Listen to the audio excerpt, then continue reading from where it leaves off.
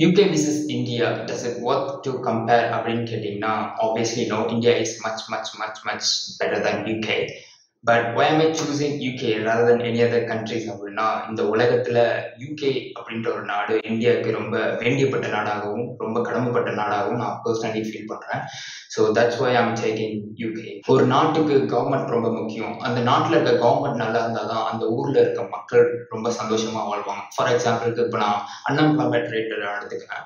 இப்போ நான் பர்சனலி நான் இப்போ இங்கே யூகேல இருக்கிறனால எனக்கு ஆப்வியஸ்லி கண்ணு முன்னாடி என்னால் கம்பேர் பண்ணி பார்க்க முடியுது. இந்தியாவுக்கும் யூகேக்கும் யூகேல இப்போ எனக்கு வேலை கிடைக்கல அப்படின்னா நான் என்ன பண்ணுவேன்னா ஜாப் சென்டர்னு சொல்லி இங்கே ஒரு ஒரு ஊர்லேயும் ஒரு பில்டிங் ஒன்று இருக்குது அங்கே போய் நம்ம ரெஜிஸ்டர் பண்ணணும். நம்மளோட டீட்டெயில்ஸ்லாம் கொடுத்தோம்னா வித்தின் த்ரீ டேஸில் நமக்கு வேலை வாங்கி கொடுப்பாங்க. கவர்மெண்ட் சைட்ல இருந்தே. இன்கேஸ் நமக்கு வேலை கிடைக்கல அப்படின்னா கவர்மெண்ட் அந்த ஜாப் சென்டர்ல இருக்கிறவங்க கவர்மெண்ட் கிட்ட இன்ஃபார்ம் பண்ணுவாங்க இவங்களுக்கு இந்த மாதிரி வேலை கிடைக்கலன்னு. நமக்கு வேலை கிடைக்கிற வரைக்கும் கவர்மெண்ட் கிட்ட இருந்து நம்மளோட அக்கௌண்ட்டுக்கு மந்த்லி மந்த்லி இன்கம் வந்துகிட்டு இருக்கும் வேலை கிடைக்கிற வரைக்கும். அந்த காசு எதுக்காக கொடுக்குறாங்கன்னா உங்களோட சாப்பாட்டுக்காகவும் அண்ட் உங்களோட இன்கேஸ் நீங்கள் வாடகை வீட்டில் இருந்தீங்கன்னா அந்த வீட்டுக்கு ரெண்ட் பே பண்ணுறதுக்காகவும் பேசிக் நீட்ஸுக்காக பேசிக் நீட்ஸுக்கு அந்த காசு உங்களுக்கு கொடுக்குறாங்க. இதுவே நம்ம இந்தியாவை எடுத்துக்கிட்டோம்னா அது மாதிரிலாம் கிடைக்குமானா ஆப்வியஸ்லி கிடைக்காது.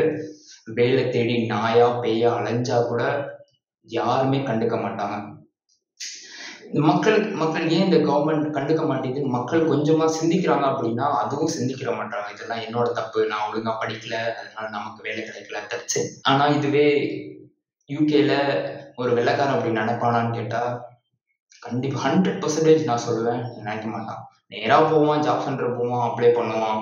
கிடைச்சா சந்தோஷம் கிடைக்கலனாலும் சந்தோஷம்ட்டு வீட்டில் இருப்போம். இப்போ யூகேல இருக்கிற கவர்மெண்ட் காசு கொடுக்குற மாதிரி நம்மளோட ஊர்ல இருக்க கவர்மெண்ட் காசு கொடுத்தா நம்ம என்ன பண்ணுவோம்? அந்த காசை வச்சு அம்மா அப்பாவை பார்க்கறதா இருக்கட்டும் இல்லை தங்க தம்பி தங்கச்சியை பார்க்கறதா இருக்கட்டும் நம்ம ஃபேமிலியை பார்க்கறதுக்கு இம்பார்ட்டன்ஸ் கொடுப்போம் ஆனால் இங்கே என்ன பண்ணுறாங்க தெரியுமா? சாட்டர்டே சண்டே ஆனால் போதும் அந்த காசை வச்சு கிளப்பு பப்பு எல்லாம். சாட்டர்டே சண்டே ஆனால் போதும் அந்த காசு ஃபினிஷ் அவ்வளோதான் இங்கே அதுதான் வாழ்க்கை. அப்படிதான் வாழ்ந்துட்டு இருக்காங்க. ஸோ நான் என்ன சொல்ல வரேன்னா இந்தியாவில் வேலை கிடைக்கிறது கஷ்டம். அப்படி வேலை கிடைக்காதவங்களுக்கு கவர்மெண்ட் ஏதாச்சும் சப்போர்ட் பண்ணுதான்னு கேட்டால் அதுவும் கிடையாது. பீப்புள் யாராச்சும் போய் எனக்கு ஏதாச்சும் சப்போர்ட் பண்ணுங்க எனக்கு வேலை கிடைக்கல என்ன பண்றதுன்னு தெரியல காசு பண்ணி கவர்மெண்ட்டை போய் கேட்குற கேட்குறவங்கள எத்தனை பேருன்னு கேட்டால் அதுவும் தெரியல. ஏன் கேட்க மாட்டாங்கன்னா அதுவும் தெரியல. அஸ் அ கண்ட்ரியா எனக்கு இந்தியா பிடிக்குமா யூகே பிடிக்குமான்னு கேட்டீங்க எனக்குன்னு மட்டும் இல்லை யார்கிட்ட இந்தியன்ஸ் ஆகிய யார்கிட்ட நீங்க கேட்டாலும் இந்தியா தான் எனக்கு பிடிக்கும்னு சொல்லுவாங்க. ஆனா கவர்மெண்ட் அங்க இருக்கிற கவர்மெண்ட் தான் இந்த இந்தியா அப்படின்ற பேரை கெடுக்கிறதுக்கு முக்கியமான காரணமா நான் பாக்குறேன். ஒரு கண்ட்ரிக்கு அடிப்படையானது லேண்ட்ஸ்கேப் அக்ரிகல்ச்சர் அண்ட் கிளைமேட் இது மூணுமே யூகேல படு மோசமா இருக்குன்னு நான் சொல்லுவேன் ஃபார் எக்ஸாம்பிள் லேண்ட்ஸ்கேப் எடுத்துப்போம். இங்க எங்க பார்த்தாலுமே மலை பிரதேசமா தான் இருக்கும். மோஸ்ட்லி மோஸ்ட்லி மலை பிரதேசமா இந்த ஹார்ட் ஆஃப் லண்டன்னு சொல்லுவாங்க சிட்டி அந்த மாதிரி இடத்துல ஒரு ஃபிஃப்டி இயர்ஸ்க்கு முன்னாடியும் இது மாதிரி லேண்ட்ஸ்கேப் இப்போ ஊட்டிலலாம் வீடு கட்டி வச்சிருக்காங்களா அந்த மாதிரி தான் இருந்திருக்கான் பட் இப்போ போய் பார்த்தீங்கன்னா எல்லாம் சமப்படுத்தி வச்சிருப்பாங்க. ஸோ லேண்ட்ஸ்கேப்பும் சரியில்லை.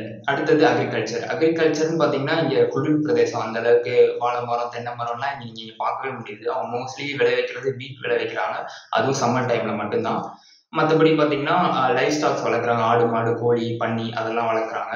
அப்புறம் பார்த்தீங்கன்னா ஆப்பிள்ஸ் அந்த ஃப்ரூட்ஸ்லாம் கொஞ்சம் கொஞ்சம் ராஸ்பெரி ஸ்ட்ராபெரி அந்த மாதிரி கொஞ்சம் தான் வளர்க்குறாங்கன்னு வைக்கலாம் அக்ரிகல்ச்சர் அவங்க பண்ணுறதுல கொஞ்சம் தான் பண்ணுறாங்க ஸோ அதுவும் அடி வாங்கிருச்சு. அடுத்தது கிளைமேட் நீங்கள் யூகேல வாழ்ற வெள்ளக்காரன்ட்ட கேட்டிங்கனாவே சொல்லுவான் எனக்கு இங்கே இருக்கிற கிளைமேட் சுத்தமாக பிடிக்கல. ஒன்றுக்குமே உதவாதுன்னு சொல்லி அதுதான் உண்மையும் கூட. எப்போ பார்த்தாலும் மழை இல்லைன்னா குளிர். இது ரெண்டும் தான் இங்க மோஸ்ட்லி அப்போ இது மூணுமே அடிவாங்கிருச்சு எங்கன்னா யூகேல ஆனா இந்தியான்னு எடுத்துக்கிட்டோம்னா சொர்க்கம் பூமி அப்படின்னு சொல்லலாம்.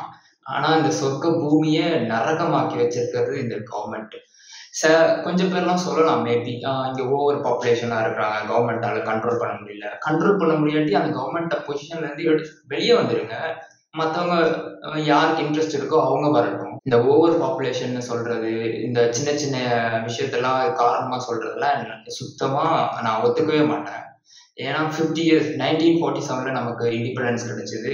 அப்போல இருந்து நம்மளோட கவர்மெண்ட் கொஞ்சம் கொஞ்சமா கான்ஸ்டியூஷன் பில்ட் பண்ணிட்டு வந்துட்டு இருக்காங்க. அப்பயோ அவங்களுக்கு தெரிஞ்சிருக்கணும் டூ தௌசண்ட் டுவெண்ட்டி ஃபோர்ல பாப்புலேஷன் இன்க்ரீஸ் ஆயிருக்கும் அப்படின்னு சொல்லி. அதுக்கேற்ற மாதிரி அவங்க நடவடிக்கை ஸ்டெப்ஸ் எடுத்திருக்கணும். எடுத்திருக்காங்களான்னு கேட்டிங்கன்னா கண்டிப்பா இல்லை. மெயின் ஸ்ட்ரீம் மீடியாஸ்லாம் இதை பத்தி பேசுமானா கண்டிப்பா பேசாது. அண்ட் அவங்க வந்து வெளியில சும்மா காட்டிக்கிறாங்க. நாங்க இதெல்லாம் பண்றோம் இதெல்லாம் பண்றோம் அப்படின்னு. ஃபார் எக்ஸாம்பிள் இப்போ மோடி ஒரு ஸ்கீம் அனௌன்ஸ் பண்றாங்கன்னா அது top to bottom Kashmir to Kanyakumari அது போய் ரீச் ஆகுதான்னு கேட்டா ரீச் ஆகல. இந்த ரீச் ஆகாத விஷயம் மோடிக்கு தெரியுமான்னு கேட்டா தெரியும். அப்போ ஒரு விஷயம் பண்றாங்க ரீச் ஆகணும்னு பண்றாங்க அந்த உண்மையிலேயே ரீச் ஆகணுன்ற ஒரு இன்டென்ஷனோட பண்றாங்களா? பண்ற ஒரு பர்சனா இருந்திருந்தாங்கன்னா அவங்க அதுக்கான எஃபோர்ட் போட்டிருப்பாங்க. பட் இங்க போட்டிருக்காங்களான்னு கேட்டா கண்டிப்பா இல்லை. தமிழ்நாட்டில் கன்னியாகுமரியில ஒரு பையன் கிட்ட இது மாதிரி ஸ்கீம் இருக்கு தெரியுமான்னு கேட்டா இல்லப்பா எனக்கு ஒண்ணும் தெரியாதுப்பா அப்படின்னு சொல்ற ஆட்கள் தான் இங்க அதிகம்.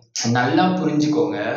இப்போ நான் யூகேல இருக்கிற மாதிரி நம்மளோட ஸ்டூடெண்ட்ஸ் தமிழ்ஸ் இந்தியன்ஸ் எல்லாருமே வெளிநாட்டுக்கு யூரோப்பியன் கண்ட்ரிஸ் அரபு கண்ட்ரிஸுக்கு வேலை போய் பண்ணணும் வேலை பார்க்கணும் பிஸ்னஸ் பண்ணணும்னு இப்போ எப்படி நினைக்கிறோமோ அதே மாதிரி ஒரு த்ரீ ஹண்ட்ரட் இயர்ஸுக்கு முன்னாடி இங்கே இங்கே இருக்கிற வெள்ளைக்காரன் நம்ம நாட்டுக்கு வந்து பிஸ்னஸ் பண்ணணும்னு நினைச்சான் வந்து செஞ்சான்.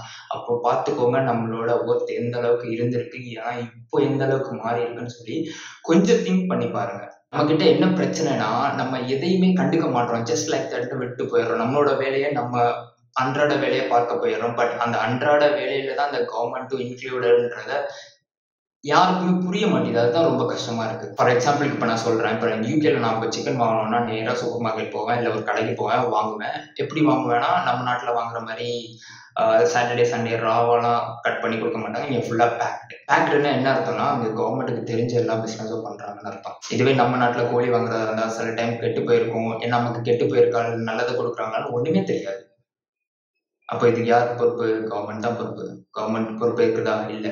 கண்டுக்க மாட்டேங்குது. நான் யூகேல வந்த புதுசுல ஒரு ரெண்டு மூணு மாசம் கழிச்சு எனக்கு முயல் வளர்க்கணும்னு ரொம்ப ஆசை. முயல்னா அந்த மினி லூப்புன்னு சொல்ற புசு புசுன்ற பொம்மை அழகு அழகுக்காக வளர்க்குற முயல்.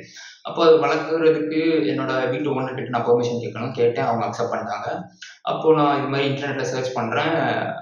எனக்கு வந்து லைசன்ஸ் தேவைப்படுது எதுக்கு முயல் வளர்க்குறதுக்கு? எனக்கு செம்ம ஷாக் ஆயிடுச்சு. என்னடா முயல் வளர்க்குறதுக்கு லைசன்ஸ் அப்படின்னு?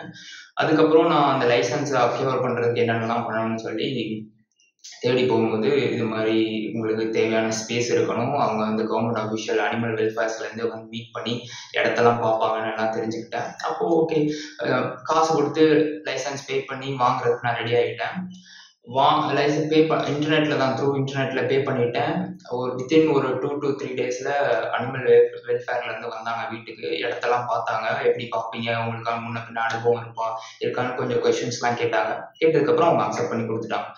இன்கேஸ் இப்போ அந்த முயல் இறந்துச்சுன்னா கூட நம்ம கவர்மெண்ட்டுக்கு இன்ஃபார்ம் பண்ணணும். நம்ம வீட்டுக்கு பின்னாடி இடம் எங்கேயாச்சும் இருந்துச்சுன்னா அதை குழி தோண்டி புதைக்கிறதுக்கு அவங்க இடம் கொடுக்க மாட்டாங்க. நமக்கு கவர்மெண்ட் அதுக்கு நமக்கு ரைட்ஸ் கொடுக்காது. அங்கே கவர்மெண்ட்டுக்கு நம்ம இன்ஃபார்ம் பண்ணணும். கவர்மெண்ட் அஃபிஷியல்ஸ் வருவாங்க. அந்த முயல் எடுத்துகிட்டு போவாங்க. இதுதான் அங்கே ரூல்ஸ் இன்கேஸ் நம்ம ப்ரீட் பண்ணுறோம் அப்படின்னா கூட ஒரு வருஷத்துக்கு நாலு குட்டிக்கு மேலே அந்த முயல் போடக்கூடாது. அப்படி போட்டுச்சுன்னா நீங்கள் கவர்மெண்ட்டை இன்ஃபார்ம் பண்ணணும். அதுக்கேற்ற மாதிரி அவங்க நடவடிக்கை எடுப்பாங்க. இது முயலுக்கு மட்டும் இல்லை ஒரு டாக் வளர்க்குறதா இருக்கட்டும் இல்லை கேட் வளர்க்குறதா இருக்கட்டும் எல்லாத்துக்குமே நீங்கள் லைசன்ஸ் வாங்கணும். அப்போ ஒரு சின்ன சின்ன சின்ன விஷயத்துக்கு கூட லைசன்ஸ் வாங்கணும்னு சொல்லி அந்த கவர்மெண்ட் ரூல்ஸ் அண்ட் ரெகுலேஷன்ஸ் போட்டு வச்சிருக்கனால தான் இப்போ இந்த நாடு அந்த அளவுக்கு டெவலப்டு கண்ட்ரி அது அப்படின்னு ஒரு நேம் வாங்கியிருக்கு. நம்ம ஏஷியன் பீப்புள்ஸ் எல்லாருமே அந்த நாட்டுக்கு போகணும் நம்மளோட லைஃப் ஸ்டைல் இம்ப்ரூவ் பண்ணணும்னு நினைக்கிறா நினைச்சு போறாங்க. அதுல தப்பு இல்லை. பட் அப்படி நினைக்க வச்சது யார் அப்படின்னா அந்த இந்த நாட்டு government especially India as an இந்தியனா I feel very shame சில பேர்லாம் நினைக்கலாம் நீ என்னப்பா யூகேல இருந்துகிட்டு இந்தியாவை பத்தி தப்பு தப்பா பேசுற? அப்படின்னு. இன்கேஸ் நான் இப்போ யூகேக்கு வராம இருந்திருந்தேன்னா எனக்கு வெளி உலகம் தெரிஞ்சிருக்காது. உங்களை மாதிரி தான் நானும். ஓகே வேலைக்கு போனோம் சம்பாதிச்சோம் கிட்ட பார்த்தோம் அப்படின்னு நான் இருந்திருப்பேன். இங்க வந்து பார்த்ததுக்கு அப்புறம் தான் தெரியுது வா இப்படிலாம் கவர்மெண்ட் மக்களுக்காக பண்ணுமா? அப்படின்னு நினைக்க வச்சது இந்த யுக கவர்மெண்ட் தமிழ்ஸ் ஹூபியா அப்படின்னு கேட்டா தெரியாது. நம்ம யாரு நம்மளோட பேக்ரவுண்ட் என்ன நம்மளோட முன்னோர்கள் எப்படி வாழ்ந்தாங்க நம்ம எவ்வளவு குடைகள் எல்லாம் கொடுத்துருக்கோம் ஊருக்காக எவ்வளவு வாழ்ந்திருக்கோம் ஒண்ணுமே தெரியாம நம்ம ஜஸ்ட் லைக் தட் அப்படின்னு வாழ்ந்துகிட்டு இருக்கிறது தான் எனக்கு ரொம்ப ரொம்ப ரொம்ப கஷ்டமா இருக்கு. முல்லைக்கு தேர் கொடுத்தா பாரி அப்படின்றத எல்லாருமே படிச்சிருப்பீங்க அது உண்மையும் கூட. அப்போ எந்த அளவுக்கு நம்மளோட தமிழ் பீப்புள்ஸ் ஒரு பற்றோடையும் அன்பாகவும் பாசமாகவும் இருந்திருப்பாங்கன்றது இதுல இருந்தே நமக்கு தெரிய வருது. பட் இப்போ எங்க போச்சு எல்லாம் அப்படின்னா தெரியல. ஒரு பஸ் ஸ்டாண்ட்ல போய் பஸ் ஏறுறதுக்காக கையை காட்டா கை இங்க நிக்கிற பஸ் ஐம்பது மீட்டர் தள்ளி போய் நிக்குது. இது என்ன யார்கிட்ட போய் சொல்றது? பஸ் ஏறினாலும் கூட கண்டக்டர் திட்டுறாரு. ஓசியில தானப்பா வந்தீங்கன்னு கேக்குறாங்க. என்ன நடக்குது நம்ம நாட்டுல? தலைவர்கள் கூட பாதுகாப்பு இல்லை. அப்ப சாதாரண ஒரு பொதுமக்கள் எப்படி அந்த நாட்டுல வாழ்றது? கொஞ்சமாச்சும் யாராச்சும் சிந்திச்சு பாக்குறீங்களா? இல்ல.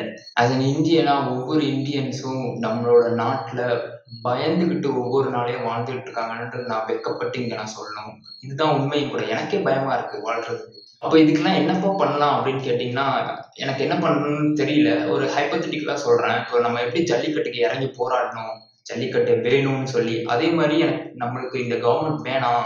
இருந்தா ஒழுங்கா லஞ்சம் இல்லாத ஊழல் இல்லாம கரப்டட் கவர்மெண்டா இல்லாம இருங்க. இல்லைன்னா எங்களுக்கு இந்த கவர்மெண்ட் வேணாம் அப்படின்னு சொல்லி எல்லாருமே இறங்கி எப்படி போராடினா மாற்றம் உடனே வரலாம். இல்லைன்னா ஒரு ஃபிஃப்டி இன்னும் ஒரு ஐம்பது வருஷம் அறுபது வருஷத்துக்கு அப்புறம் யாராச்சும் ஒரு தலைவர்கள் வந்து மாற்றலாம் உண்டு ஸோ நான் இதுதான் உங்கள்கிட்ட சொல்லணும்னு நினைச்சேங்க சி யூ ஆன் வீடியோ பிடிச்சிருந்தா லைக் பண்ணுங்க ஷேர் பண்ணுங்க சப்ஸ்கிரைப் பண்ணுங்க.